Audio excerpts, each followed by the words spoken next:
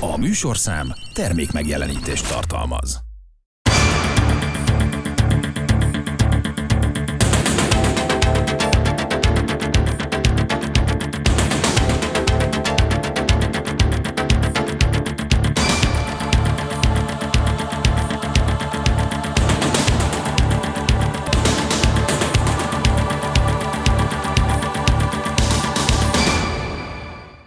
Köszöntöm Önöket, Navracsics Tibor területfejlesztési miniszter volt a Matthias Corvinus Kollégium előadás sorozatának vendége, aki új feladatok, új megoldások címmel tartott előadást.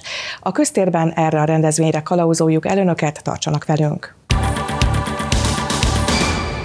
Én magam területfejlesztési miniszter vagyok, és alapvetően a feladatkörömbe tartozó eh, feladatok két nagy csoportra oszthatók. Az egyik, ami inkább most médiaérzékeny fogadjuk, vagy fogalmazunk így, és inkább érdekli az embereket, ez az Európai Uniós források megszerzése, és aztán ezek felhasználása, hogyha sikerült megszerezni. Tehát én az a miniszter vagyok, akinek először meg kell keresni a saját pénzét, és aztán utána oszthatja majd el, illetve ellenőrizheti ennek az elosztását. Ezügyben folynak a tárgyalások, erről is beszélek majd röviden, de hát ezt a napi sajtóban is nyomon követhetik az ezzel kapcsolatos perspektívákat és találgatásokat is, illetve a másik, ami talán a, éppen most itt működésünk első időszakában egy kicsit az érdeklődés hátterében marad, ez a területi politika fogalomrendszerének és jogszabályi környezetének megújítása, azaz a magyar fejlesztés politika olyan szempontú átalakítása vagy újraalakítása, amely lehetővé teszi, hogy a ciklus végére, tehát 2026-ra meginduljanak azok a munkálatok, amelyek az elkövetkező Európai Uniós 7 éves pénzügyi kerettervvel, tehát 2028. január 1-től már Magyarországon egy alapvetően területi szemléletű fejlesztéspolitikát tud majd végrehajtani, illetve megvalósítani. Miért van erre szükség?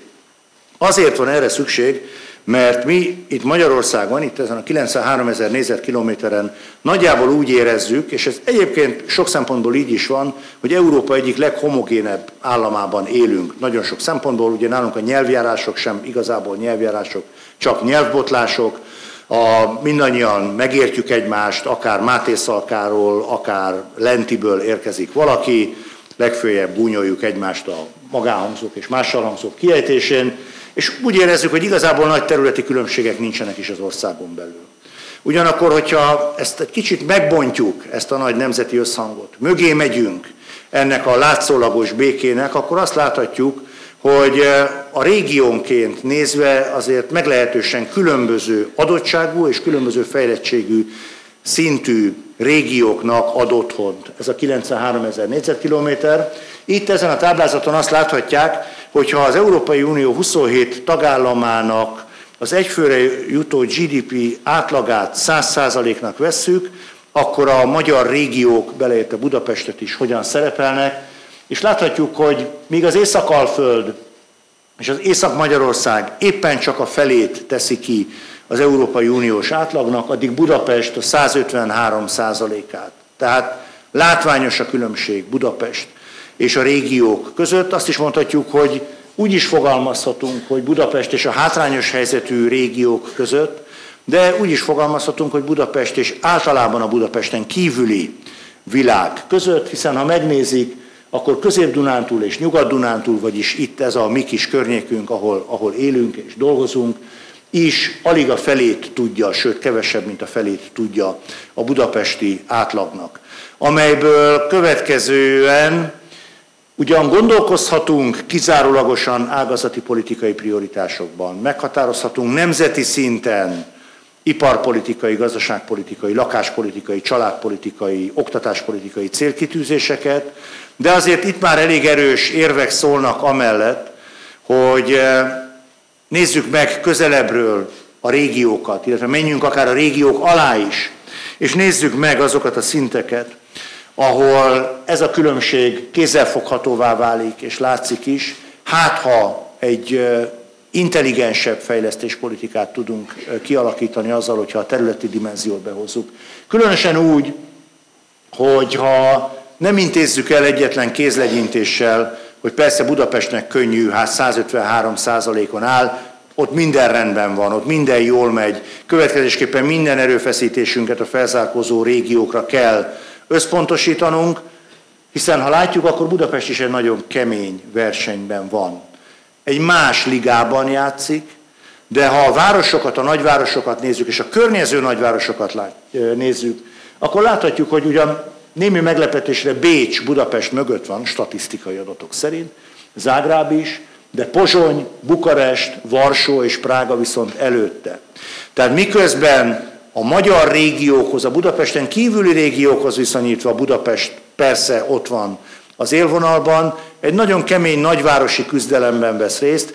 Ehhez hozzáteszem, hogy az Európai Bizottság 8. kohéziós jelentése szerint, amely területi és a szociális kohézió állapotával foglalkozik, az Európai Unión belül ugyan csökkennek a területi különbségek, azaz szűkül a területi egyenlőtlenség, de ez a szűkülés, ez jó részt a közép-európai nagyvárosok rendkívül dinamikus felzárkózásának köszönhető. Tehát pontosan annak, amit itt látunk, Pozsony, Bukarest, Varsó, Prága, nagyon dinamikusan húznak föl, nyilván van egy alacsonyabb bázisról, ezért megtévesztő egy kicsit a, a, a növekedés dinamikája, de itt láthatjuk összehasonlítással, hogyha megnézzük, akkor a, és a többi magyarországi régióval összehasonlítjuk, akkor azt láthatjuk, hogy mi 2004 és 2020 között Budapest 129%-ról 153%-ra jött föl, tehát 14%-kal jött föl, addig mondjuk a Délalföld 44-ről 54-re, tehát 10%-kal,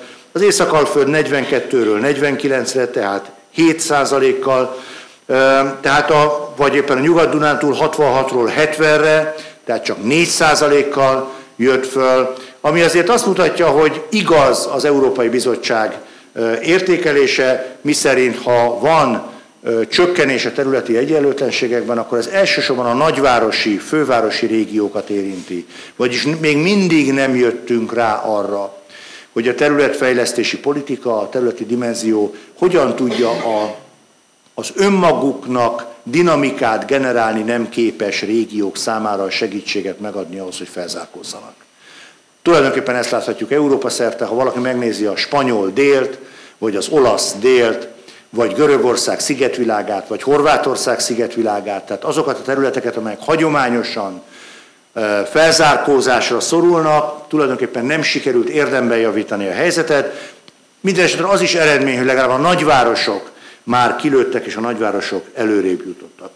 Nagyjából ezt láthatjuk akkor is, hogyha megnézzük Európa térképét, mondjuk a szegénység szempontjából, akkor ez már számunkra ismerős mintát ad, minél ö, sötétebb, sárga, illetve barnába hajló a, az egyes régió színe, annál nagyobb a szegénységnek vagy társadalmi kirekesztődés kockázatának kitett népesség aránya. Ezek 2019-es adatok. Itt is jól láthatjuk a magyarországi mintát is, a magyarországi régióknál is már egész jól kirajzolódik az, hogy melyek azok a, a régiók, melyek azok a térségek, amelyek ebből a szempontból veszélyeztetettnek tűnnek. A munkanélküliségi ráta szinte ugyanezt a, a mintázatot hozza. És hogyha Magyarországon belül jövünk, és a járási szintű bruttó átlagkereseteket nézzük, a január-augusztusi, tehát az első fél éves adatokat, akkor szintén számunkra egy már ismerős mintázat rajzolódik ki. Ez az északnyugat, északkeleti tengely, amely kiegészül egy észak-déli, a Duna mentén egy észak-déli tengelyel, ugye a nagy beruházások tekintetében Paks, mind ami a jövedelem, húzó ereje, és itt van Székesfehérvár és térségét is láthatjuk, ahol elsősorban, mivel viszonylag gyenge lábakon áll a, a javulás és a felzárkózás ebből adódóan egy-egy szereplő is meghatározó lehet, és adatot befolyásoló tényező lehet. Éppen ezért nagyon fontos számunkra minden gazdasági vihar közepette is megőrizni a befektetőinket, hiszen ők azok, akik adott esetben a statisztika javulásához hozzá tudnak járulni. A keleten megjelenő foltok, azért sötétebb foltok azért már azt jelzik, hogy a kormány nagyon tudatos befektetés támogató és iparfejlesztő politikájának is kezd megjönni az eredménye, láthatjuk már ott Debrecen környékén, Miskolc környékén a sötétedő foltokat, amely azokat a nagy külföldi befektetők megjelenését mutatja, akik a reményeink szerint az elkövetkező időszakban ezeknek a térségeknek a dinamikáját is meg fogják majd határozni. És itt látható Budapest és Magyarország a GDP szempontjából, ez földrajzilag nem korrekt térkép, gazdaságpolitikailag teljesen korrekt, ez Budapest szerepét mutatja a magyar GDP termelésben, és tökéletesen látszik, hogy nagyjából a magyar gazdaság szerkezete szempontjából Budapest milyen szerepet játszik. Láthatják, hogyha a kék mezőket kivesszük, amely ugye a 100%-os átlag alatt teljesítő térségeket mutatja, akkor tulajdonképpen Budapest mellett csak Győrmoson, Sopron és Komárom-Esztergom megye az, amely valamilyen szinten versenyben tud lenni. Itt ismét fontosnak tartom hangsúlyozni, hogy ne tévesszem meg bennünket ez, ez nem azt jelenti, hogy Györmoson Sopron megyének és Komárom-Esztergom megyének már semmilyen fejlesztés-politikai asszisztenciára nincsen szüksége, mert miközben valóban a többi térséghez képest, többi magyarországi térséghez képest viszonylag jól áll, ha mindezt összehasonlítjuk, az Európai Unió nyolcadik legdinamikusabban fejlődő pozsonyi térségével, vagy az osztrák tartományokkal, amelyek közül Burgenland közvetlen versenyképességi kihívást is jelent, akkor láthatjuk, hogy ezeknek a régióknak, ezeknek a megyéknek egy más nemzetközi környezetben kell helytállniuk. Minden esetre elég jól mutatja a Budapest szerepét a, a GDP termelésben, és hogyha mindezt hozzávesztük az elmúlt évek, évtizedek közlekedési infrastruktúra fejlesztését és gazdaságpolitikai fejlődési erővonalait is, akkor egy meglehetősen sajátos térkép rajzolódik ki a fejlesztéspolitika számára, amely elég erősen sugalja számunkra azt, hogyha nem is kell felszámolni a hagyományos közigazgatási beosztáson alapuló fejlesztéspolitikát, de kiegészítő szempontként két másik tényezőt is figyelembe kell venni. Az egyik ebből a kettőből, majd mindjárt a másikra is áttérek, az egyik ebből a kettőből Budapest kisugárzása. Itt az látszik, hogy eh, amit ma Budapesten, vagy Budapest kapcsán agglomerációnak nevezünk, azt önök itt a sárga és a halványzöld gyűrűként láthatnak Budapest körül közvetlenül. Ez a Budapest testéhez tapadó települések, amelyek ami, amolyan alvóvárosként eh, élnek Budapest mellett, és amely Budapest legszűkebb gazdasági környezetét jelenti.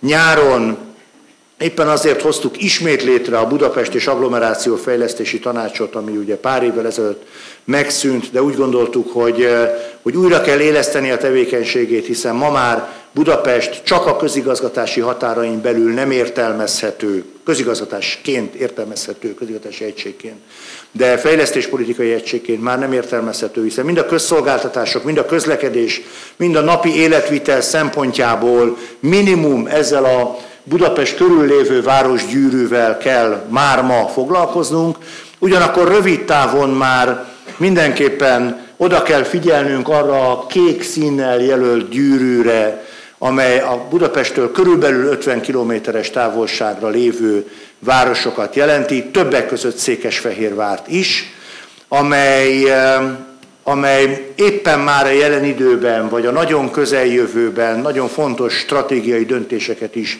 meg kell, hogy hozzon saját térségi szerepvállalásával kapcsolatban, hiszen Budapest mondhatjuk úgy, hogy perceken belül ide fog érni, a közlekedési infrastruktúra fejlődésével, a, a város vonzerejének növekedésével, Tatabányának, Székesfehérvárnak, Kecskemétnek, Egernek, Salgótarjánnak potenciálisan a közeljövőben meg kell hoznia azokat a döntéseiket, hogy Budapest felé fordulva a budapesti gazdasági ö, gravitációs pontot szolgálva annak a gazdasági világnak részeként kívánnak tovább létezni, vagy pedig megpróbálnak Budapesttől eltérő irányban egy új decentrumot megpróbálni kialakítani, és megpróbálni az önállóságot, a gazdasági profil önállóságát is megőrizni valamilyen szinten. És a Mondom, ez a közeljövő feladata. Szerintem egy-két éven belül ide fog érni Budapest, ide Székesfehérvár, ha nem ért még ide, önök ezt jobban tudják, mint én, de már itt van valahol a, a város határában. És van egy halványzöld gyűrű, ami nagyjából az országhatár körül húzódik, amely számunkra azt a városgyűrűt jelenti, ahol reálisan elképzelhető a Budapestet kiegészítő, ám attól független gazdasági kisugárzással és területi kisugárzással rendelkező decentrumok hálózata. Ez Győrtől Szombathelyen keresztül Zalaegerszeg, Nagykanizsa, Pécs, Szeged, Békés Csaba, Debrecen, és aztán föl Kazincbarcika, Miskolc térségét érinti, ahol a mi feladatunk és ezeknek a városoknak a feladata, hogy olyan önálló térségek jöjjenek létre, amelyek kiegészítik a Budapest gazdaságot, hiszen ha megnézzük, és, és a budapesti agglomeráció kisugárzását 50-100 kilométeres távolságban határozzuk meg a nyugat-európai mintákhoz hasonlóan, akkor azt tudjuk mondani, hogy távlatosan Budapest vonzereje egy 9,7 milliós országból 5,1 millió embert fog érinteni. Tehát azt arra is fel kell készülnünk, hogy az ország lakosságának nagyobbik része már most, illetve a közeljövőben gazdaságilag, életvitelszerűen, szorosabban vagy lazábban Budapesthez fog kötődni, véletlenül a közlekedési infrastruktúra minőségének javulásával ez még inkább így lesz, és azokat a városokat pedig meg kell erősítenünk, amelyek ott a halványzöld gyűrűben vannak, amelyek egyrészt az országhatáron belül önálló kisugárzással kell, hogy rendelkezzenek, másrészt pedig az országhatáron túl a hozzátartozó, történelmileg hozzátartozó térségek vonatkozásában is valamilyen gazdasági szerepet el tudnak látni. Debrecen, Nagyvárad, Szeged, Szabadka, Újvidék, Pécs, Eszék, és a többi, és a többi lehetne sorolni ezeket a térségeket.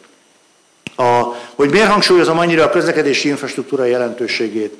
Eh, annak az az oka, hogy ha megnézzük 2010 óta, az elmúlt 10 évben látványos fejlődés történt, vagy 9 évben látványos fejlődés történt a, az infrastruktúra, a közlekedési infrastruktúra kiépítésében. Ez a térkép azt mutatja, hogy hány perc alatt lehet elérni a legközelebbi autópálya csomópontot, minél barnább az adott járás, annál több időt kell tölteni. Nézzék meg, hogy 9 év alatt milyen látványos fejlődés lehetett elérni. Két zárványt is sikerült tulajdonképpen felszámolni. Az egyik az osztrák határ mentén lévő, ami jobbára 86-os út fejlesztésével, gyorsforgalmi alakításával elért. A másik pedig a békési, amely a 4-es, 44-es gyorsforgalmi utak elérésével. Most abban bízunk, hogy a közeljövőben a Miskolc-Kassa autópálya megépülésével ott a még meglévő északkeleti csüskön is sikerül látványosan javítani, és ez nem csak abból a szempontból fontos, mint említettem, hogy,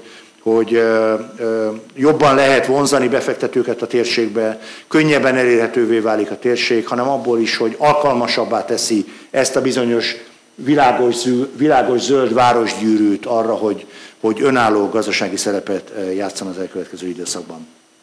Melyek a fejlesztéspolitikai céljaink? Mi az, amire valójában az uniós forrásokat akarjuk, és ami miatt ezeket a területfejlesztési koncepciókat is képez, alakítjuk, illetve, illetve fel akarjuk építeni.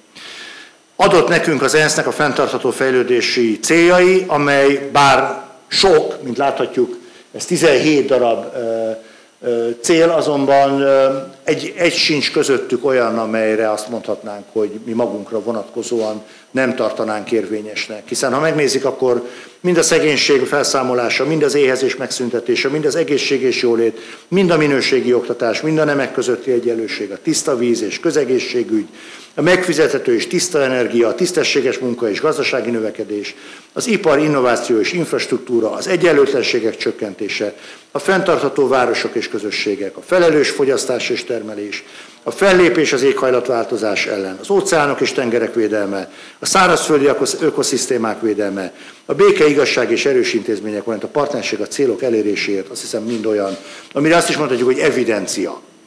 Akkor válik nem evidenciával, amikor megpróbáljuk ezeket elérni.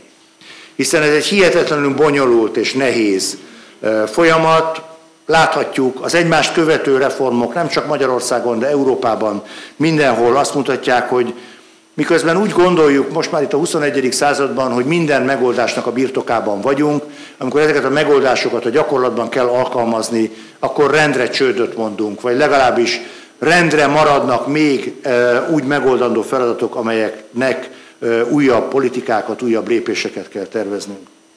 Azt is mondhatjuk, hogy a, a, a célok meghatározásánál a jó kormányzás pilléreit kell figyelembe vennünk, ami a vezetés és előrelátása, a szilárd jogszabályok és szakpolitikák, az erős intézmények, pénzügyi felügyelet, vonzó piacgazdaság, globális befolyás és hírnév és az emberek felemelkedésének megsegítését jelenti. Ez a két nagyon távlatos és nagyon absztrakt pillér az, ami meghatározza a magyar fejlesztés politikát, és meghatározza az elkövetkező időszakban is a, a magyar fejlesztéspolitikát. Vannak speciális céljaink is, arról majd az elkövetkezőkben fogok beszélni. A 2021-27-es időszakban alapvetően két olyan pillérből próbálunk fejlesztési forrásokat szerezni, amelyek az Európai Unió segítségét jelentik számunkra a fejlesztéspolitikai célkitűzések megvalósításában. Az egyik az úgynevezett kohéziós pénzek, amelyeket itt láthatnak, ezeket operatív programokra bontjuk. Mondhatom, hogy most már hagyományosan. Ugye a 2014-20-as tervezési időszakban már megszokhattunk olyan rövidítéseket, mint GINOP, ICOP, EFOP, TOP, és a többi, és a többi. Mivel ezek meglehetősen sikeresek voltak az elmúlt időszakban, éppen ezért a, még az előző kormány úgy döntött, hogy meghagyja alapvetően ezt az operatív program szerkezetet, a megkülönböztethetőség kedvéért egy plusz jelzőt hozzátesz. Itt láthatják, hogy, hogy melyik operatív programra mennyit szánnánk az elkövetkező időszakban. Egy jelentős operatív program bővülés történt. Az Európai Bizottság prioritásainak megfelelően egy digitális megújulás operatív program is megjelent az eddigi operatív programok között. Mintegy 800 milliárd forint összértékben, de megmaradt alapvetően az, hogy a legjelentősebb a GINOP, tehát a Gazdaságfejlesztési és Innovációs Operatív Program, amely elsősorban a vállalkozásokat célozza meg 2300 milliárd forint értékben. A második legjelentősebb a Terület és Településfejlesztési Operatív Program közkeletű nevén a TOP Plus, mintegy 2000 milliárd forint értékben, és aztán jelentős még a KEHOP, ami a Környezeti és Energiahatékonysági Operatív Program, illetve az Integrált Közlekedésfejlesztési Operatív Program, az ICOP, és az Emberi Erőforrás Fejlesztési Program is.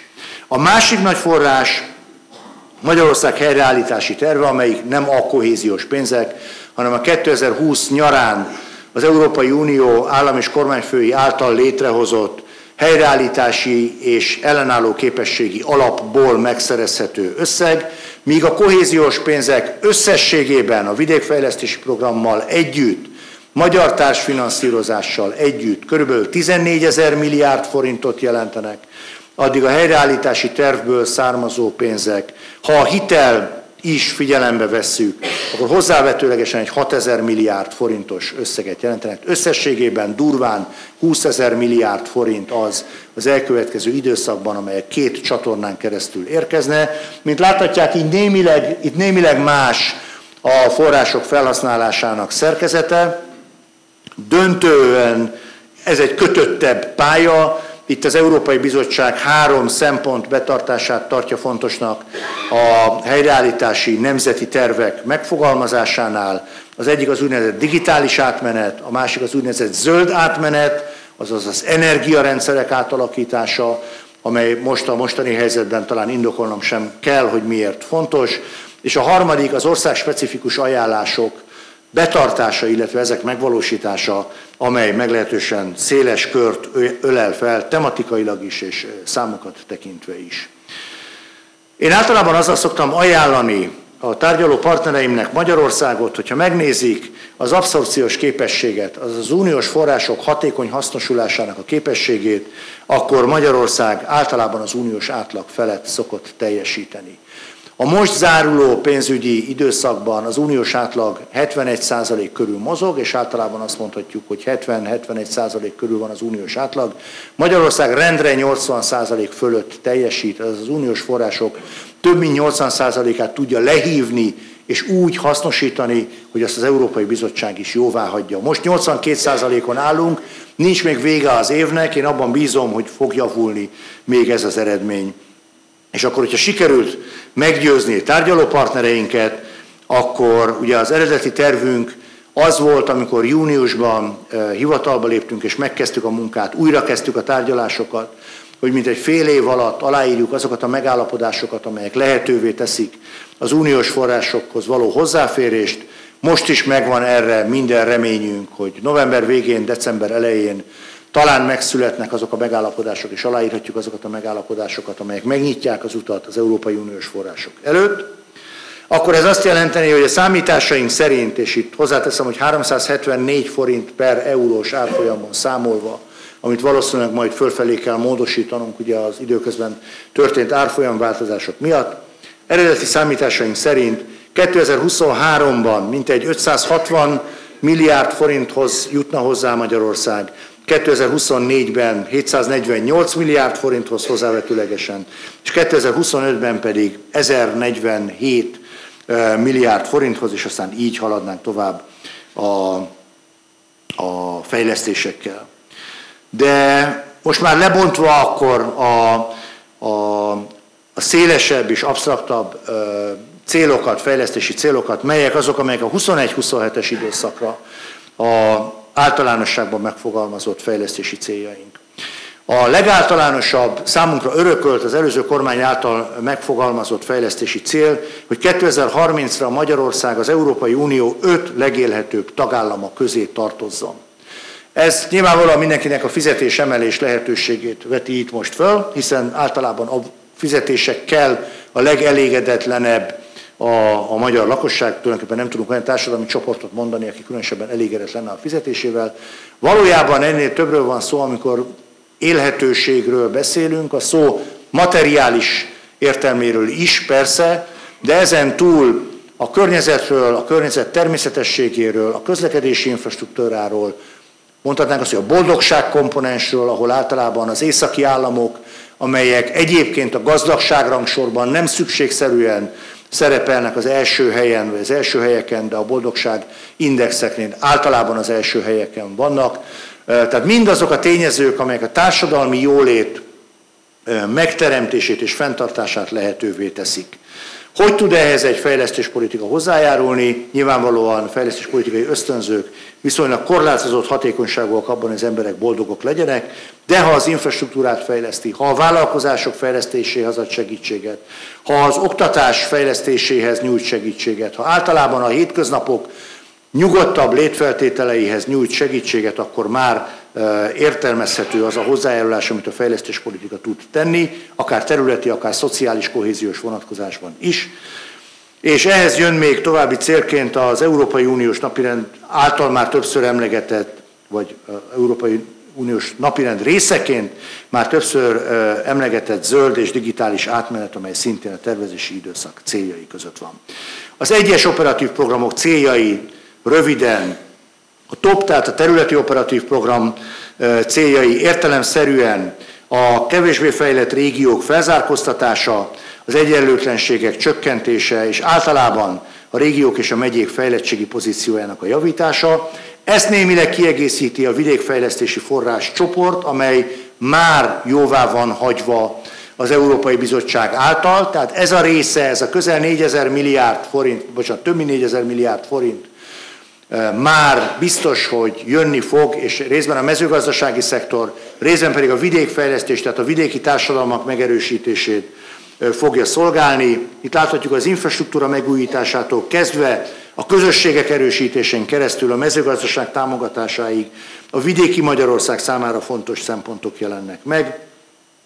A környezeti operatív program, tehát a környezetvédelmi operatív program egyrészt a szennyvíztisztítás és csapadékelvezetés régi és még mindig megoldatlan problémájának a, a, a kezelését próbálja meg a ivóvíz minőségjavítás, levegőminőség, hulladék újrafeldolgozás és körforgásos gazdaság alapjainak megteremtése. A digitális operatív program az új elektronikus szolgáltatások, tól az infrastruktúra fejlesztésen keresztül az állampolgárok digitális kompetenciájának a fejlesztéséig tűzi ki célul. A közlekedési operatív program elsősorban a kötött pályás közlekedés fejlesztésére koncentrál, illetve környezetbarát járműbeszerzésekre, amely lehetővé teszi a, a közösségi közlekedésben is a léptékváltást és a minőségváltást. Az emberi forrás, emberi erőforrás operatív program pedig részben, részben a szegregált élethelyzetben élők, közösségek, illetve egyének helyzetének javítása, illetve általánosabb értelemben véve a társadalmi felzárkózás támogatását. A gazdasági operatív program pedig általában a vállalkozás fej, vállalkozások fejlesztésének a támogatását.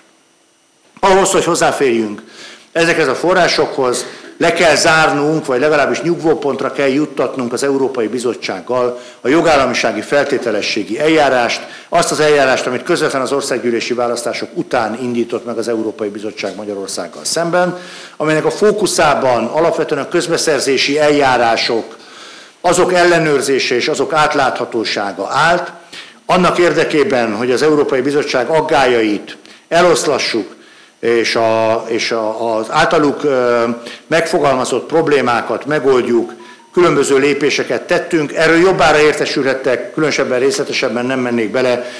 Két elemre hívnám fel a figyelmet. Most november 19-én kezdi meg a működését az integritási hatóság, amelynek a, most már az elnökét és az elnök helyetteseit is kinevezte a köztársasági elnök.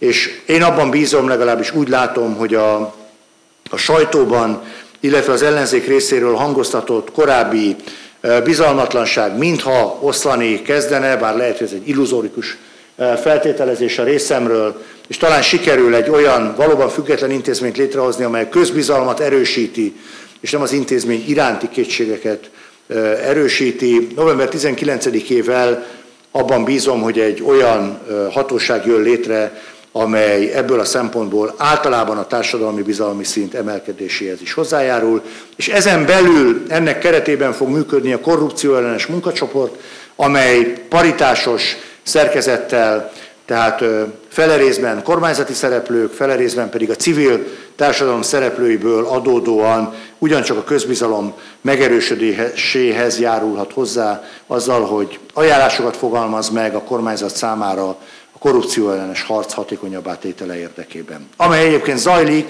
hogyha valaki megnézi az Európai Csalás ellenes hivatallal való együttműködés eredményeit és az OLAF észrevételeit a magyar közbeszerzési eljárásokkal kapcsolatban, akkor azt láthatja, hogy 2016-tól 21-ig az elmúlt öt évben drasztikusan csökkent ezek száma, és mostanra már ez kezelhető mennyiség, abban bízom, hogy ez nem is fog már emelkedni, sőt lehetőség szerint az Olafnak a jövőben már nem lesz szüksége, nem érzi szükségét annak, hogy, hogy észrevételt tegyen a magyar közbeszerzési gyakorlattal kapcsolatban. Ezt talán erősíti a szintén az Európai Bizottság egyik hivatalos dokumentuma, az egységes piaci eredménytábla, amely közbeszerzési eljárások alapján, azok átláthatósága alapján és az egyes országok közbeszerzési teljesítménye alapján csoportosítja a tagállamokat az Európai Unión belül. Itt azt láthatjuk, hogy a zöld színnel jelölt országok azok az országok, ahol az Európai Bizottság semmilyen problémát nem lát a közbeszerzési eljárásokkal kapcsolatban, azokat teljesen megbízhatónak minősíti. Sárgárval jelzi azokat az országokat, ahol kisebb problémák vannak, de alapvetően közbizalom fűződhet a közbeszerzési eljárásokhoz, hiszen jelentős problémák nincsenek, és pirossal jelöli azokat az országokat, ahol alapvető problémák vannak a közbeszerzési eljárással. Azért tartom fontosnak ezt mindig megmutatni, ezt az ábrát, mert ezt az Európai Bizottság állította össze, és ezen láthatják, hogy Magyarország bár nem zöld, de nem is piros, hanem, hanem sárga, azaz ott vagyunk Németországgal, Belgiummal, Hollandiával egy csoportban, és számottevően jobb az eredményünk, mint Ausztriáé, Szlovéniáé, Olaszországé, vagy éppen Spanyolországé, Portugáliáé, Romániáé, Bulgáriáé, Görögországé, Ciprusé vagy Máltáé. Ez tehát azt mutatja, hogy miközben tudjuk, hogy van tennivalónk a közbeszerzési eljárások iránti közbizalom megerősítésével, de korán sem vagyunk reménytelen eset. Abban bízom, hogy meg tudjuk győzni az Európai Bizottságot is, meg tudjuk szerezni ezeket a pénzeket, és az előadásom első részében elmondott szempontok kialakítása a szakpolitikai keretrendszer kialakításával egy új fejezetet tudunk nyitni a magyar fejlesztéspolitika történetében. Nagyon érdekel a, a, az, hogy sikerül megszerezni az Európai Uniós pénzeket. Ez egy emberes feladat fél éven belül ezt letárgyalni, és kíváncsi voltam, hogy meg tudom-e oldani, mert most is kíváncsi vagyok, hogy meg tudom-e oldani. A másik pedig egy örök szerelem, és itt megint Basér Pistát hivatkoznám, hiszen nekünk évtizedes barátságunk köt már össze a területiség mentén. Én méltatlannak tartom azt a helyzetet, hogy Magyarországon mindenki úgy gondolja, hogy itt nincs, nincs szerepe a, a regionális különbségeknek, miközben mindannyian tudjuk, hogy óriási szerepe van, és nagyon nagy potenciált látok abban, hogyha ezt, ha ezt jól be tudjuk hozni a döntéshozatalba, a szakpolitika formálásba, akkor szerintem itt az ország fejlesztéspolitikájában, fejlődésében még nagyon komoly távotok vannak. Azt hiszem, hogy mindenkit a jelen érdekel legjobban, de mégis hadd menjek vissza egy kicsit még 2010-14-es eh, ciklusra, amikor eh, tulajdonképpen az ön nevéhez kötődött a közigazgatás átalakítása, a közigazgatás reformja. Tíz év távlatából hogyan értékel annak az eredményeit, illetve ez most segítség vagy akadály inkább a területfejlesztési célok végrehajtásában? Hát a legjobb lenne persze, ha megkapnám a területi közigazgatást is, mert egy kézben lenne minden. De fogjuk fel ezt a hatalom megosztás logikájának. Itt György Pistára, vagy György Istára, bocsánat, hat hivatkozzak, aki jelenleg az államtitkár, a területi közigazgatásért felelős államtitkár a miniszterelnökségen. És ő mondta azt, hogy, hogy az, amit mi akkor ott 10 és 14 között kitaláltunk és, és megalkottunk, az még most is gyakorlatilag változtatás nélkül működik. Én egy kicsit fájó szívvel mondom, hogy változtatás nélkül működik, mert most már azért 10 év után én látom, hogy, hogy hol kellene kicsi beavatkozásokkal javítani a hatékonyságát a, a működésnek, vagy vélem látni, és nem szeretném azt megvárni, amíg aztán, ugye 2010-ben ez egy nagyon nagy reform volt, azért, mert teljesen elhanyagolt volt a magyar állam. Én nem szeretném, hogyha ismét elhanyagolódna teljesen a magyar állam. Abban bízom, hogy az elkövetkező időszakban majd lesz pénz, figyelem és akarat arra, hogy a közigazgatást és a különösen a területi államigazgatást egy kicsit megint a kor kihívásaihoz igazítsuk. Mindenki olvassa az újságban, hogy körülbelül hol tartunk, eh, de szerintem a legfrissebb információkat csak egy ember tudhatja. Eh, lesznek-e uniós pénzek? Hogyan áll a mai helyzet? Hát erre az a helyes válasz, hogy lesznek uniós pénzek. Mikor? Most mondtam el itt a táblázatban, hogy mikor. De tartható továbbra is a céldát? Igen, egyelőre tartjuk, egyelőre tartjuk. Ugye november 19-e az a dátum, amit itt említettem is a bevezető előadásban, amikor az integritási hatóság elindul. Szerintem ez egy kulcsfontosságú dátum. A sajtóhírek szerint, amit a bizottság hivatalosan még nem erősített meg, de úgy tudjuk, hogy november 22-én lesz egy olyan kollégiumi ülés, tehát a biztosoknak egy olyan ülése, ahol szó lesz a magyar jogállamisági kondicionalitási eljárásról, és akkor, akkor ez jelenthet egy tovább lépést, el is dőlhet az, hogy idén még lesznek-e megállapodások, vagy nem. És amit tudok még ilyen következő dátumként mondani, az még december 6-a, amikor a gazdasági és pénzügyminisztereknek lesz egy tanácsa, ott szó lehet a magyar nemzeti helyreállítás, helyreállítási tervről, és az adott esetben akár egy olyan is lehet, amikor ha pozitív döntés születik, akkor év végéig megvannak a megállapodások, tehát megnyílhatnak az uniós források. Engem is meglepett a sajtóban, amikor miniszter úr arra reagált, hogy eh, ha igazak a sajtóhírek, akkor november 22, és hamarabb megjelenik a politikóban, mint a bilaterális kapcsolatokban. Ez belefér a partnerségbe, vagy ez eh, egy szégyenpados státusz, vagy hogy értékeljük ezt? Ja, nem, ez a, nem, ez nem, nem, nem kivételes. Ez sokszor előfordul, hogy az újságírók előbb meg is meg tudják a az információkat. A dolognak nem biztos, hogy politikai jelentősége van, egész egyszerűen a kollégium nem adja ki ennyivel előre a napirendi pontokat. Valószínűleg nincsenek is, mert mindig a következő ülés napirendi pontjai jelennek csak meg interneten hozzáférhető módon. Ebből adódóan az könnyen lehet, hogy egy jól értesült újságíró előbb megírja. Nincs, én ebben nem látok semmilyen problémát. Elhangzott az is egy interjúban, hogy valószínűsíthető, hogy lesznek újabb követelések, feltételek, módosítási igények.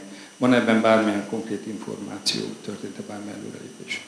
Folynak tárgyalások most is a bizottsággal, nem csak az operatív programok tekintetében, meg a helyreállítási terv tekintetében, hanem az, az a magyar igazságszolgáltatás önigazgatási modelljén belül a különböző, a két nagy szereplő, tehát az Országos Bírósági Hivatal és az Országos Bírói Tanács közötti hatáskör megosztás tekintetében.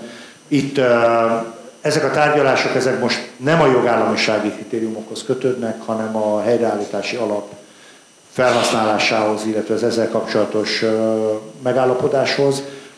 A tárgyalások folynak, kompromisszum, egy megoldás közeli helyzetben vagyunk, nincsen, nem merült fel semmilyen probléma jelen pillanatban. Tehát folynak tárgyalások, vannak még újabb kérések, követelésnek azért nem nevezném, de, de úgy tűnik, hogy jó úton haladunk a megoldás felé. Sokan úgy látják, hogy ezeknek a kéréseknek, javaslatoknak soha nem lesz vége. Van-e olyan helyzet, hogy mindegy, hogy van sapka, mindegy, hogy nincs sapka, áll sapka, nem áll sapka, lehet érezni ilyen típusú csuklóztatást, politikai eljárást, vagy azért korrekt tárgyalásokról beszélhetünk? Hát én csuklóztatást hivatalból sem érezhetek. Tehát én, én tárgyalok az Európai Bizottsággal, én úgy érzem, hogy minden, amit felvetnek, az alapos, megfontolandó és lehetőség szerint kezelendő. Azt, hogy ennek lesz-e valaha vége, vagy nem, azt szerintem senki nem tudja közülünk. Vannak mindig nagyon okos emberek, akik már tudják, hogy na ez lesz az utolsó, vagy soha nem lesz vége. Meglátjuk. Azért az Európai Bizottság és a tagállamok közötti kapcsolat általában nem, fogalmazom, sokszor konfliktusokkal terhelt. Hát az Európai Unió arról szól, hogy nemzeti érdekkonfliktusokat kell kezelni tárgyalásos úton. Ebből adódóan a hozzánk hasonló, ha nem is ennyire politikai jellegű hanem inkább technikai jellegű, de hasonló tárgyalás sorozatok, akár intenzív tárgyalás sorozatok is meglehetősen gyakoriak a bizottság és egy tagállam között. Tehát én ezt nem érzem inzultusnak, hogy mi most erről tárgyalunk. Én abban bízom, hogy sikerül a bizalmi szintet ö, olyan, olyan szintre emelni, hogy, ö, hogy a, a nevén tudjuk nevezni a dolgokat, és tudjuk kezelni ezeket a problémákat, nem kell állandóan tiszteletköröket futni és, és pótmegoldásokat keresni. És le lehet rántani a politikai konfliktust ezekről a kérdésekről. Itt látjuk ezt az egyik, tehát utolsó előtti ábrán, ahol sárga, piros, zöld színekben pompázott Európa, e, és az alapján az emberek eszébe jut a kettős mérce, vagy az, hogy e, bizonyos esetekben rosszabb a bizonyítvány, mint a tényleges teljesítmény. Ez politikai alapon van, így e, bizonyos területeken tényleg nagyon gyenge a teljesítmény, mivel magyarázom ezt? Hát van, van olyan intézmény, az Európai Parlamentben politikai alapon van, az Európai Parlament egy politikai testület, és az Európai Parlamentben ma baloldali többség van. Ez a baloldali többség ez nem olyan nagyon szimpatizál Magyarország jelenlegi kormányával. Szerintem a élek a gyanúperrel, hogy néhány magyar európai parlamenti képviselő, aki a baloldali pártokhoz tartozik, ők szintén nem arról próbálják meggyőzni pártcsaládjukat, hogy szimpatizáljanak a magyar kormányjal, Ebből adódóan ott van politikai alapú ítéletalkotás természetesen. Az Európai Parlament ilyen. A bizottságnál, amikor júniusban újra kezdtük a tárgyalásokat, akkor kifejezetten az volt a célom, és viszonylag hamar sikerült is egyetértést találni ebben, hogy vegyük le az ideológiai vitákat a mostani vitákról, és, és koncentráljunk a, a pragmatikus kérdésekre, amik megoldhatók. Én ideológiai vitákat nem tudok megoldani az Európai Bizottsággal, én nem fogok tudni eldönteni azt, hogy az Európa milyen irányba menjen tovább, és mi a jövője. Nekem nem az a dolgom, nekem most az a dolgom, hogy azokat a problémákat kezeljem, amelyek jelen pillanatban az Európai Uniós források megszerzésének útjában állnak. Ezek nagyon gyakorlatias kérdések, mint ahogy a megoldásokon is látszik, amit azóta jobbára elfogadtunk és, és végrehajtunk, és sikerült is elérni, hiszen a bizottság is abban érdekelt, bármilyen furcsa is, de végül is abban érdekelt, hogy sikeresek legyünk és megkapjuk az uniós forrásokat. Mondjuk ezt annak fényében is, ami Lengyelország esetével történt, ahol ugye a bizottság megállapodott, aláírták a megállapodást, aztán nagy felhorkanás volt ugye az Európai Parlamentben, ami után a bizottság valahogy visszapozni látszik. Igen, igen. Én ennek fényében is azt mondom, szerintem az az Európai Bizottság számára legalább akkora feladat, hogy hogyan ne adja oda a pénzt Lengyelországnak, mint az, hogy hogyan adja oda. És abban a helyzetben manőverezte most magát, hogy, hogy ebből nagyon nehéz kijönni, húzza az időt, ráadásul Lengyelországban jövőre választások lesznek. Tehát ott az uniós források kérdése nagyon könnyen a választási kampány kérdésévé is válhat, ami szerintem nem jó dolog. Nálunk ugye ezt nem sikerült elérni, vagy nem, nem így következett be. Mi választások után vagyunk, mi ebből a szempontból is más helyzetben vagyunk. Én, én bízom abban, hogy jobb helyzetben vagyunk, mint a lengyelek, és abban is bízom, hogy meg fogjuk kapni a pénzeket. Van-e időrendi sorrend a két terület között, hogy mi a tárcához tartozik, illetve a tárca nélküli miniszterséghez tartozik? E, ugye azt tudjuk, hogy Európai Uniós források nélkül elég nehéz területfejlesztési politikát végrehajtani Magyarországon. Elindult-e bármi a másik területen? Területfejlesztés. A területfejlesztés területén? Egyrészt zajlik az országos területfejlesztési koncepciónak a felülvizsgálata. Ez 2014-ben fogadta el a Magyar Országgyűlés, és 2030-ig szóló fejlődési íveket állapított meg akkor. Hát talán mondanom sem kell, mindenki gondoljon vissza arra, hogy 2014-ben hogy élt és mit gondolt, és most hogy él és mit gondol. Ez alatt a 8 év alatt mondhatjuk, hogy a sarkából fordult ki a világ. Tehát nyilvánvalóan nekünk is újra kell értékelni. Most 22-ben, ráadásul félidőben vagyunk, újra kell értékelni a célokat, illetve szeretnénk a fejlesztés politikai dokumentumoknak nagyobb kötelező erőt adni. Nem vagyunk jók általában stratégiaalkotásban. A magyar politika általában nem jó stratégiaalkotásban. Illetve, hogy pontosítsak, stratégiaalkotásban nagyon jók vagyunk, de ezeket a könyvtárnak gyártjuk, ezeket a, a stratégiákat. Szeretnénk olyan stratégiákra áttérni, amit azok is komolyan vesznek, akik alkotják, és komolyan kell, hogy vegyék azok is, akiknek szól a stratégia és éppen ezért zajlik most ennek a felülvizsgálata, ez az alapvetés, ezután pedig azok a koncepció, azokról a koncepcionális kérdésekről kell döntenünk, amiket itt próbáltam felvázolni. Egyrészt egy közigazgatási egység alapú fejlesztéspolitika adatot nekünk, tehát a járások, megyék, régiók, mint természetes egységei a területfejlesztésnek, ugyanakkor látjuk, hogy vannak olyan, vannak olyan fejlemények, amelyek átírják ezeket a közigazgatási határokat. Egyrészt Budapest, a budapesti agglomeráció kérdésköre, másrészt pedig az olyan speciális térségek, mint például a Balaton térsége, a Közép-Duna térsége, a Tokaj-hegyalja térsége, a Tiszató térsége, amelyek adott esetben közigazgatásilag különböző területekhez tartoznak, gazdaságpolitikailag vagy a mindennapi élet szempontjából mégis egységként kezeljük. Ezeknek is ki kell találnunk, hogy hogyan tudunk értelmes megoldást adni a hétköznapi élet élésére, ne kelljen a megye határ miatt nekik kilométerekkel többet utazniuk egy közszolgáltatás eléréséhez, hogy csak egy példát mondjak, hogy a Nagykanizsa, ami ott van Zala, Zala megye dél-keleti csücskében, a határ pár kilométerre a megy, Somogyi határtól, Somogy megyében, a Csurgói járásból viszont 20-30-40-50 kilométereket kell utazni, hogy Kaposvárra eljussanak bizonyos közszolgáltatásokért, amit pár kilométerrel odébb Nagykanizsán is el tudnának érni, csak a megye határ lehetetlenné teszi, hogy hozzáférjenek ezekhez a közszolgáltatásokhoz. Ezeknek a, a módját kell megtalálnunk, hogy ezt hogyan tudjuk felülírni, átírni, illetve kezelni ezeket a problémákat. Van-e bármilyen újítás a stratégia megalkotóinak, illetve felülvizsgálóinak a körében, vagy az eljárásban magában? Tehát ha nem a tartalmi részt nézem, hanem hogy hogyan viszonyul a kormány stratégiához, itt volt-e valamilyen? Hát egyrészt újítása, még az előző kormány által életre hívott gazdaságfejlesztési zónák és ehhez kötődő kormánybiztosi tisztségek. Ugye én magam voltam Észak-Dunántúl, tehát a Közép-Dunántúl és a Nyugat-Dunántúl együttesen mint gazdaságfejlesztési zónáért felelős kormánybiztos. Ez annyiban új, és megtartottuk ezt a pozíciót, vagy ezeket a pozíciókat, mert nagyon hasznosak a kapcsolattartás szempontjából. És ez már módszer kérdése is. Nem felülről lefelé tervezést szeretnénk, hanem alulról felfelé tervezést. Felvázolni a nagy irányokat, mit szeretnénk, hogy Magyarország milyen ország legyen, ebből láthattuk itt a fenntarthatósági célokat, láthattuk a jó kormányzás céljait, láthattuk azt a nagyon általános célt, hogy az EU öt legélhetőbb országok közé tartozzunk, és alulról összeszedni azokat a, azokat a kezdeményezéseket, azokat a vállalkozásokat, azokat a projekteket, amelyek ebbe az irányba tartanak, és erre építeni egy részletes tervet. Folyamatban van ennek a kialakítása, de ha ezt be tudjuk fejezni a ciklus végéig, 26-ig, akkor egy új fejlesztéspolitika áll majd előttünk, mind módszerét tekintve, mind célrendszerét tekintve. Itt alapvetően közigazgatási szereplőkre számít a kormány, vagy pedig is, gazdasági és is, civil? Is, és társadalmi szereplőkre is. Nem vagyunk túl erősek társadalmi konzultációban, nemzeti konzultációban erősek vagyunk, társadalmi konzultációban nem annyira. Mi szeretnénk ezt, ezt a teljesítményt egy kicsit javítani, tehát a társadalmi konzultáció részét erősíteni az uniós forrásokhoz visszatérve egy kicsit, hogy látja, hogy melyek azok a feltételek, amelyeknél előfordulhat még olyan jogalkotói feladat, amelyre a mai kormány többségnek hangsúlyt kell helyeznie?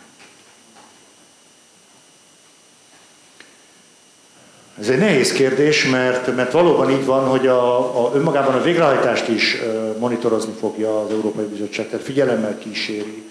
És előfordulhat az, hogy a végrehajtás során, mint ahogy most is egyébként a, a végrehajtás értelmezése során vannak észrevételek, van, ami nem igényel jogszabályi változtatást, de van olyan, ami, ami azt igényli, hogy a végrehajtás pontosabb legyen, éppen ezért a jogszabályokat is pontosítani kell. Nem tudom előre megmondani, hogy ezek milyen területek lesznek, de továbbra is készen állunk arra, hogy az Európai Bizottsággal együttműködve nekünk is érdekünk, hogy az ország iránti bizalom is növekedjen, hogy az a, az a negatív kép, amelyet kialakítottak rólunk, az, az minél inkább, minél hamarabb eloszolják. Tehát ilyen értelemben én készen állok arra, hogy a jövőben is, ha szükséges, akkor akár jogszabálymódosítással, akár szakpolitikai célrendszer finomításával, de működjünk együtt az Európai Bizottsággal. Csak a monitorongizás az ilyen szempontból kevésbé az ellenőrzés, hanem inkább a lehetőség eh, a kormány számára. Igen, igen. Én úgy gondolom, hogy eh, itt, mint a közbeszerzési eljárás kapcsán is, én ezt lehetőségként fogom fel, nem kényszerként, eh, mindannyiunk érdeke az, hogy a magyar gazdaság nem csak, hogy tisztább legyen, de a magyar gazdaságról alkotott kép is az legyen, hogy ez egy tisztább gazdaság. Sok esetben ma a Magyarországról alkotott kép negatívabb, mint amilyen valójában a magyar gazdaság, vagy a, a, a magyar gazdaság hétköznapi élete. A prezentációban a helyreállítás alapnál a hitel résszel is számolt, miniszter úr. Korábban voltak nyilatkozatok, miniszterelnök úr azt mondta, hogy ezt nem kívánjuk igénybe venni, miniszter úr azt mondta, hogy a saját álláspontja a kormányéhoz képest eltérő. Van-e itt véglegesnek tekinthető döntés? Még nincs végleges álláspont, még nincs itt a határidő sem, hogy végleges álláspontot kelljen mondanunk. Én úgy gondolom, hogy még akkor is, hogyha jó gazdasági helyzetben vagyunk, ez egy olyan kedvezményes kamatozású és olyan kedvező futamidejű hitel, amit érdemes, érdemes felvenni, érdemes igénybe venni, fejlesztési hitelekre úgyis szükség van, akkor vegyük már fel azt, amelyik kedvező, persze hozzá kell előférnünk, tehát meg kell teremteni ennek a lehetőségét, de ha megvannak az előfeltételek, akkor én mindenképpen amellett vagyok, hogy vegyük fel a hitelt. És mi szól ellen? Én, én azért nem tudok. Ki szól ellen? Azt meg nem árulom el. Térjünk át a, a makroszitu egy kicsit a, a térségi kérdések a kisebb szintre, már amennyire kicsinek tekinthető Veszprém és Balaton környéke. 2023 Európa kulturális fővárosa. Milyen tervekkel futottak neki ennek a projektnek, és ez a bizonytalan környezet, amit a Covid, aztán a háború okozott, az felülírta ezeket a terveket, vagy hogyan lehet ez alkalmazkodni? Hát alapvetően óvatos tervekkel futottunk neki. Éppen azért, mert 2010 ami Pécs Európa kulturális fővárosának éve volt, azt a magyar közvélemény furcsa módon kudarcként érte meg. És nagyon kedvesek voltak egyébként a pécsiek, alig, hogy elnyertük a címet. Pécs volt az első város, ami jelentkezett és meghívott minket, hogy menjünk el Pécsre, mert ők el szeretnék mondani a tapasztalataikat az Európa kulturális fővárossal kapcsolatban. És, és abból is az derült ki, hogy tulajdonképpen ami miatt a magyar közvélemény ezt kudarcként élte meg, a belpolitikai, meg, meg helyi politikai válságokon túlmenően, hiszen ott sajnos ugye több tragikus e, e, haláleset is volt, Toller László is meghalt, Tasnádi László is meghalt, László, az nem, nem emlékszem a keresztnevére, tehát két polgármester is meghalt ott a felkészülési időszakban, és Páva Zsolt, aki a időközi választáson polgármester lett alig pár hónappal a nyitórendezvény előtt.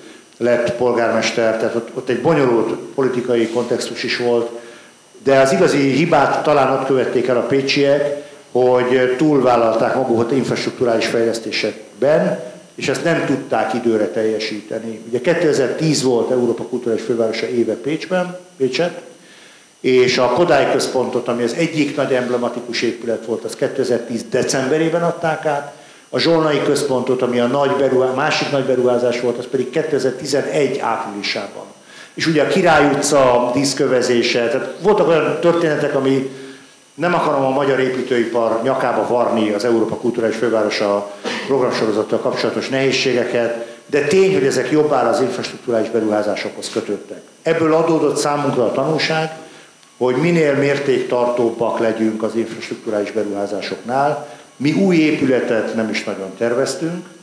Általában két-három olyan beruházásunk van, amely a városban amely régi, már használaton kívüli épület megúj, építészeti és funkcionális megújítását tűzte ki célul, és ezeknél még tudjuk tartani a 2023-as átadási határidőt, tehát úgy tűnik, hogy valóban el is fognak készülni.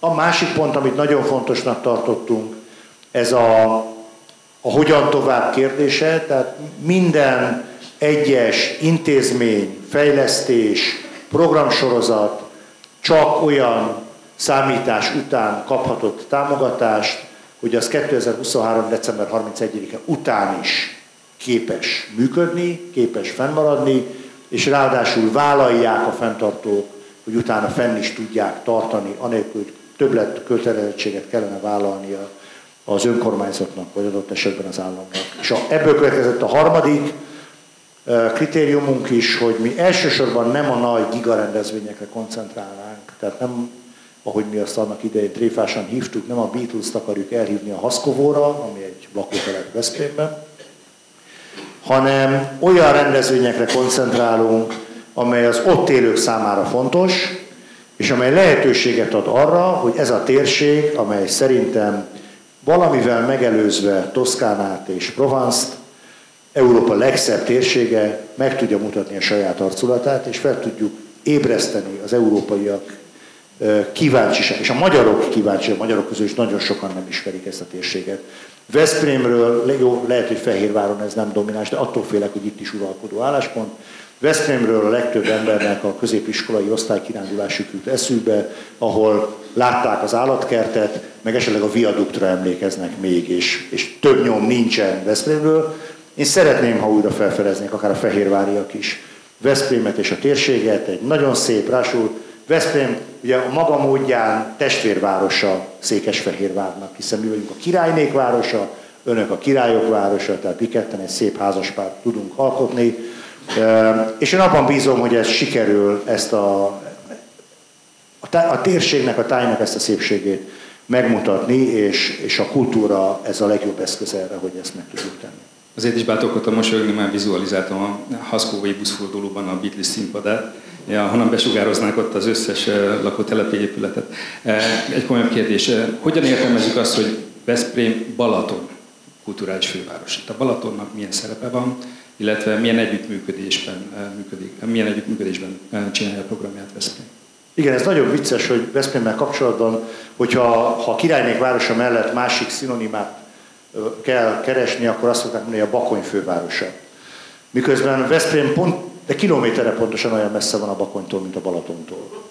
És arra gondoltunk, hogy akkor mi nem lehet a Balaton fővárosa is. Ettől persze Boka Pisti Balatonfüreden hideglelést kap, meg a Keszthelyi polgármester, meg a Siófoki polgármester, meg mindenki, mert ez ugye új szereplő a pályán, ezt senki nem szereti a Balatonnál.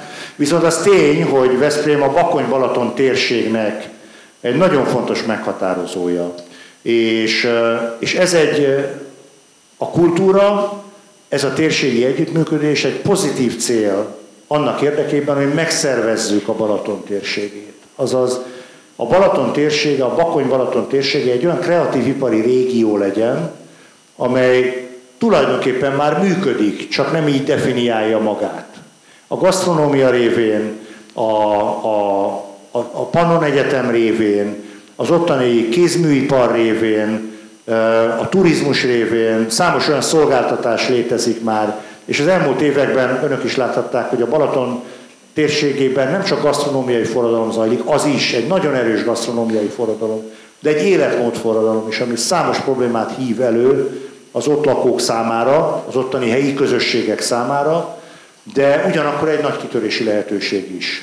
Ez a programokban úgy jelentkezik, hogy eh, miközben Veszprém maga a központja természetesen a programoknak, kínosan ügyeltünk arra, hogy a, a térségben levő kb. 200 település közül 130-140 csatlakozott a kezdeményezéshez. Önmagában egyébként ez is érdekes, hogy nem minden település gondolta úgy, hogy őnek csatlakozni kellene az Európa Kulturális Fővárosa program sorozathoz, de a kétharmada a településeknek csatlakozott, és egy nyári alkotótábortól kezdve egy fesztiválon keresztül, akár egy közösségi ház megújításáig a legkülönbözőbb formákban vesznek részt majd az Európa Kulturális Fővárosa program sorozatban, mi pedig az egészet arra is felhasználjuk, hogy lehetőség szerint a közlekedési kapcsolatokat újra szervezzük.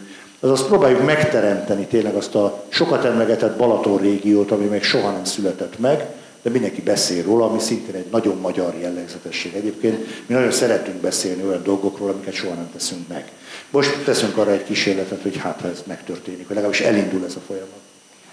Egy kicsit kilépve a politikusi szerepből és visszatérve az elemzői eh, akadémiai szerephez, eh, láttuk az ábrákon, hogy az autópálya építése milyen kisugárzással eh, rendelkezik, hogyan tudja az életszínvonal emelését segíteni. Kultúrának is van ilyen szerepe. Az Európai Kulturális Főváros projektből lehet tudni ilyen példákat. Milyen más tényezőket tart még fontosnak az általános fejlesztéshez, amin keresztül a területi különbségek is csökkenthetők? Miek azok a a, a faktorok, azok a tényezők, amelyeket a kormány tud stimulálni, akár politikai, akár anyagi eszközökkel? Egyetemek. Egyetemek egyértelmű. A finnek például az egész fejlesztés politikájukat alapvetően az egyetemekre alapozzák. Létrehoztak megyénként egy egyetemet, ottani közigazgatási egységenként, és a megyék feladatává tették meg, hogy szervezzék meg a helyi gazdasági együttműködést, fejlesztési együttműködést, a közigazgatási szervezetek, a cégek, vállalatok között, és egyben azt a kötelezettséget is adták az egyetemeknek, hogy az innováció révén, a kutatásfejlesztés révén legyenek az irányítói a fejlesztéspolitikának. Mi itt még nem tartunk, de az egyetemeket nagyon fontosnak tartunk ebből a szempontból, itt a térségben lévő egyetemeket is.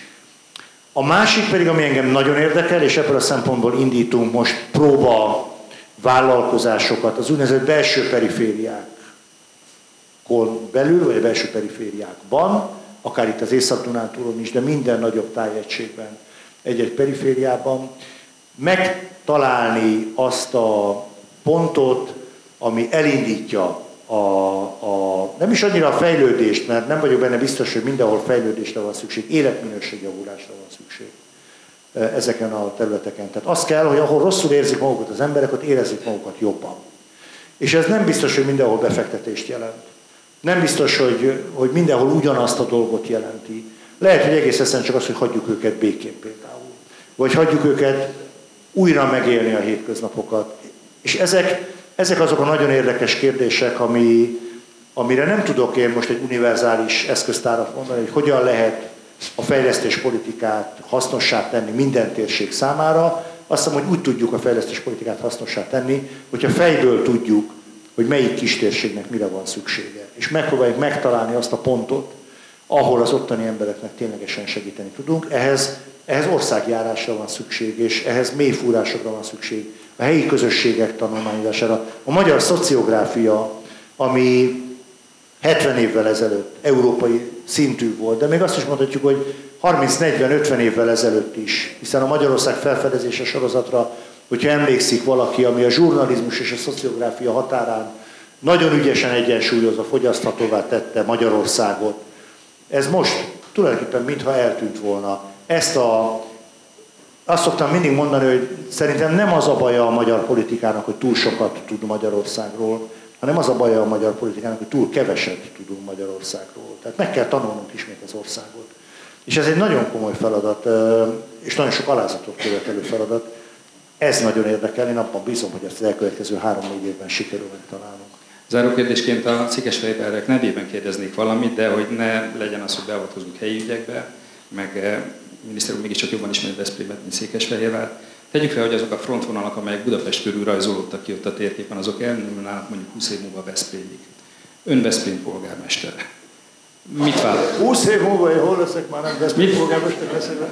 Mit választana, hogyha mégis ez a lehetőség megadódik, vagy megadatik? Fölülni erre a budapesti hullámra, budapesti vonatra, szembefordulni vele, őrizni valami helyi sajátosságot? Mit lehet tanácsolni ilyenkor?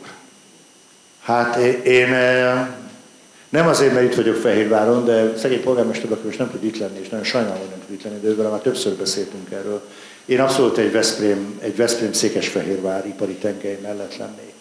A, mindig azt szoktam mondani, hogy az Észak-Dunántúl nagy előnye vagy fogyatékossága, számomra előnye, hogy nincs egy egyértelmű központja az Észak-Dunántúlnak. Szerintem ez előny. Ez engem egy kicsit arra emlékeztet, mint a második világháború utáni időszak Nyugat-Németországa. ahol szintén nem volt egy egyértelmű fővárosa Nyugat-Németországnak. És két lehetőség volt, hogy egymásnak esik Frankfurt, München, Hamburg, és elkezdenek Köln, és elkezdenek kardozni Stuttgart, hogy melyik legyen a főváros, vagy pedig, hogyha úgy döntenek, hogy megosztják egymás között a funkciókat, és egy decentrumokból építik fel egy laza hálózatát a, a, a központoknak. És szerintem nálunk is az Észak-Dunántúlon fennáll a lehetőség, Győr, Fehérvár, Szombathely öldöklő küzdelmet vívhat, hogy melyik lesz a régió központja, és mindegyik veszíteni fog. Vagy pedig azt mondjuk, hogy Veszprém, Győr, Fehérvár, Szombathely, Tatabánya, Sopron, Zalaegerszeg, Nagykanizsa, mindegyik egy kicsit központ, csak profiljában eltérő és egymás kiegészítő módon lehet, és ebből szerintem Fehérvár, mint ipari, üzleti központ, Veszprém, mint kulturális, felsőoktatási központ tökéletesen kiegészíti egymást, még ha népesség arányosan, ugye Fehérvár majdnem kétszer, kétszer akkora talán, mint Veszprém, Kedves nézőink a köztérben a Mátiás Corvinus Kollégium előadás sorozatára kalauzoltuk el amelyen Navracsics Tibor területfejlesztési miniszter tartott előadást. Köszönjük figyelmüket, viszontlátásra!